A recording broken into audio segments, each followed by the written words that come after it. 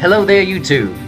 It is Duel Links Theory here, also known as George, and I need to talk quickly because for the second card of the day, on the advice of a random Redditor that commented uh, on a thread, uh, I've decided to do uh, officially Orcust Harp Horror as the second card of the day, but actually I'm going to be covering the entire Orcust engine because it would be incredibly stupid to just cover Harp Horror because he's part of a package. And the main part of the package I actually have laid out in this deck, which I've called Card of the Deck because of my incredible wit. Now, okay, so Harp the whole thing behind Orcust is if they are in your graveyard as a spell speed 1 effect that can only happen on your turn, uh, unless they release one of their other spells, which they haven't yet. Anyway, let's not talk about what hasn't been released yet. Um, basically, they remove themselves from the graveyard to special summon another card either from the graveyard or the deck or the hand in the case of the tuner. And uh, basically, in Yu Gi Oh! Duel Links, graveyard effects are pretty freaking powerful because, uh, well, Duel Links is like a toned down Yu Gi Oh! basically, and um, just anything you can do that's like better than summon summoning a Dunamis Dark Witch or whatever. If you're not coming out the graveyard is really good in Yu-Gi-Oh! Duel Links. And um, for that purpose, Harp Horror is the best card, because he is the one that if he's in the grave, he will whip out either this guy, Cymbal Skeleton, or Brass Bombard from the deck. These guys come from the deck. So, uh, the main Orcust engine currently is just this draw spell. They were given a draw to spell pretty much like Destiny Draw. Um, it is a once per turn clause, so I don't really know if you should run two or three at the moment. If you're doing a full-on dedicated Orcust deck, I highly recommend three, but if you're using it simply as a sub-engine, like I mainly do, maybe try to go for two. Uh, I've been playing three, and I've had mixed results with it. I mean, the other day I, I triple drew the sucker, and then uh, with a Desperado Barrel Dragon down here, and I obviously lost that duel, but that's just my wicked luck fucking me over like it always does. So, this is what I would call the bare bones Orcust engine. Uh, by the way, Cymbal Skeleton, he removes himself from the graveyard to summon another monster out of the graveyard. So he's more of a middle game card. He uh, He's not too great on the first turn. And this is the tuner, who some people say you could just not play at all. If like if you if you're somehow playing Orcust and you're not synchroing, you can just drop the tuner. When he gets removed from the graveyard, he uh, just special summons somebody from the hand. So by far, Orcust Harp Horror, the secret rare, is the uh, most powerful of the cards, and he really sets up the engine.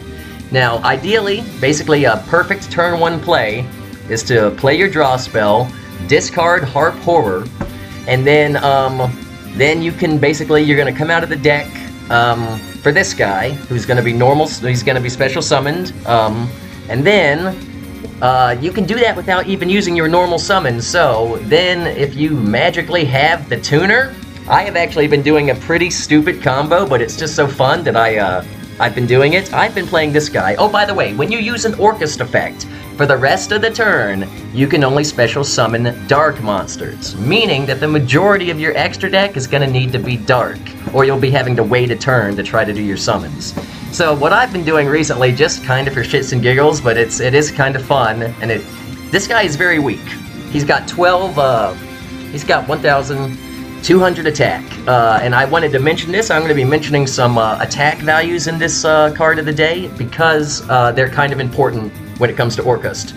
Desperado Barrel Dragon here is 2,800, and I just want to point out that 2,800 plus 1,200 equals 4,000. So just remember that, and uh, the, so this guy actually has a very cool uh, attack value for, for the kind of decks he's going to find himself in. so anyway, back to my stupid combo. I play my little draw card, ditch this guy to the graveyard, this guy comes out from the deck, and then let's just say I have uh, the tuner in hand, because I'm always unlucky enough to draw it. Um, then basically they make this cool little guy, Underworld Fighter Balmung, who's basically ready. He's a level 4 Dark Synchro, so he fits all the requirements to work in an Orcust deck, and if somebody is stupid enough to, like, I don't know, uh, fissure him, or if they kill him with a card effect, he's bringing out a level 4 lower monster. So he has a sort of a, a kind of a floating effect that rarely ever goes off, but quite frankly, if you have nothing else to do on your turn, ending on a 2100 is better than ending on a 1200. So I have included him in the deck. Um, now, very quickly, we're going to go over the Orcust cards that uh, people aren't playing. Uh, this trap here, da da da da da, you can read that effect for yourself, but um, it sucks. At least so that is the consensus of professional opinion at the moment. And this card here, uh, that is a little bit better, uh, because but it's a targeted banish, so it's really not that good at all.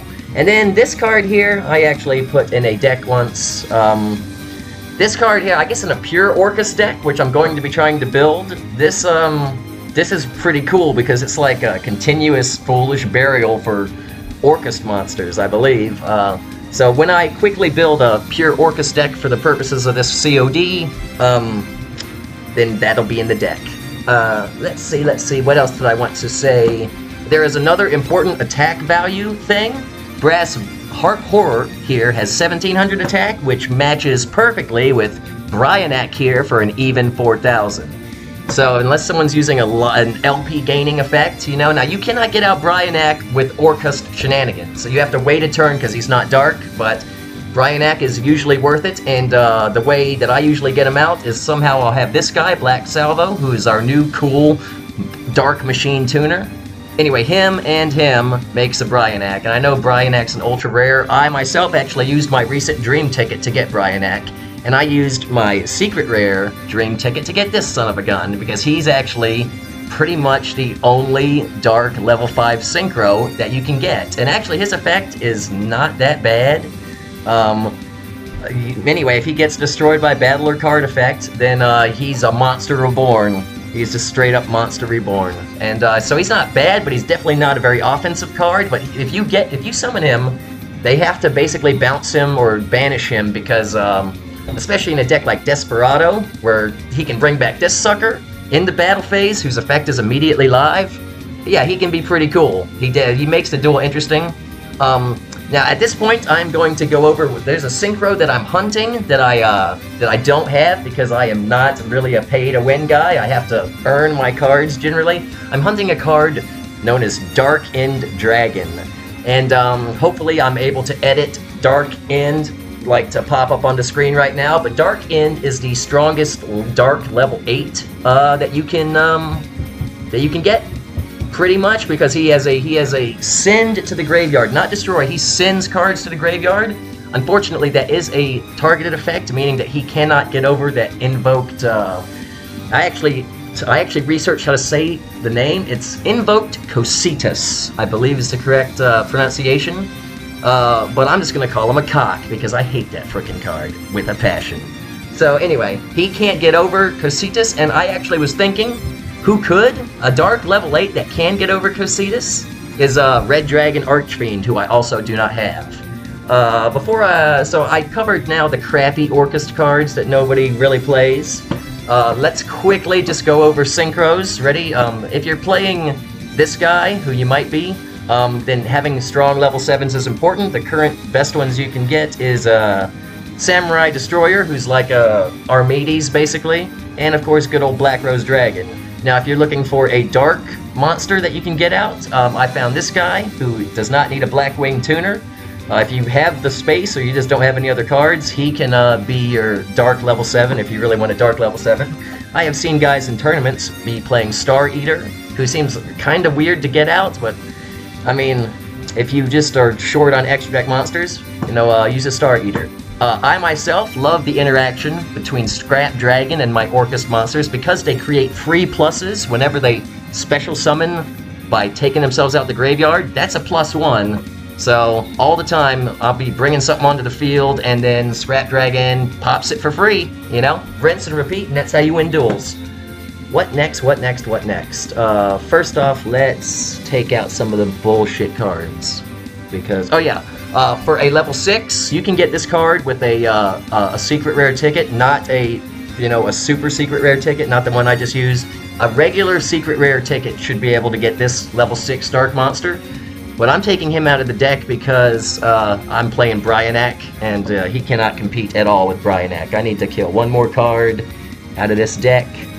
Uh, I'm going to take out this because when I get out of level 7, it's always going to be Samurai Destroyer. okay, we just hit the 10 minute mark and we have barely done anything. Is there anything else I need to mention about the Orcust engine? Let's see, I mentioned uh, Cymbal Skeleton equals 4,000. I mentioned Red Dragon Archfiend gets over Cocytus. Uh, I showed the bullshit cards that nobody plays, although I think I'm going to put them in this pure Orcust deck I'm about to build. Uh, does not work. Oh yes, ready? One of the sub-engines, let's talk quickly about sub-engines. You want to get your Orcust in the graveyard, so throwing in a Neos fusion engine if you have it. Um, it, they, Neos fusion is basically Foolish Burial for us. Um, I don't think I'm going to be using the Neos fusion in this example because that it kind of dominates whatever deck it's in. Even though it's a great Foolish Burial effect, Neos fusion, you put it in any deck and then you're you're playing a no-brain uh, Neos Fusion deck at that point. And I like myself playing no-brain decks because uh, because they're often good. But anyway, for the purposes of this deck, no Neos Fusion. But uh, I would also like to point out that unfortunately, Red Eyes Fusion, which is another foolish effect, does not work with that because uh, Red Eyes slash Dragon requires a warrior-type monster, and our Orcust are all machines. So, no Red Eyes shenanigans, guys. Any any kind of effect that you could uh, find that sends cards to the graveyards is going to help Orcust. Uh, Scrap Recycler is also in Duel Links, and he is like a uh, he's like an Armageddon Knight for machines, if I had to put it in a weird way to say it. okay, so before this becomes a super long video, in fact, this video is going to exceed 15 minutes. I can smell it. Um, I'm just going to quickly, very quickly, I might be able to get under the 15 minute mark. Um, you know what? To do I'm just gonna make it a Cyber Dark deck really quickly. Orca Cyber Darks, very, very strong. Boom. Get this guy here. Bam. Bam. And then uh, I'm not playing any semi-limiteds, so...